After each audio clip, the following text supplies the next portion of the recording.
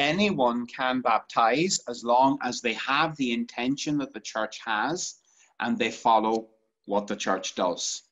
Ah, okay. So, uh, for example, you could be a perhaps, and this may be more relevant in the past than it is these days with medical advancements, but in the past, um, most of the medical professionals, nurses, um, midwives, that they all, even if they weren't Catholic, they all knew how to baptize. In fact, you know, our grandparents were all taught how to baptize in an emergency. But even those who are non Christian would have the ability to baptize um, if they have the intention of the church and do it as the church wishes, which is the bare essential, which is the water and the the words, the formula of baptism.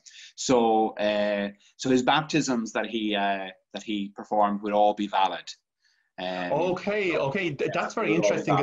Yes. I always, I always thought, and I was, I was obviously wrong in my thinking that um, I knew uh, uh, lay people could could baptize in an emergency uh, or a situation, but I actually thought that they too had to be Catholic.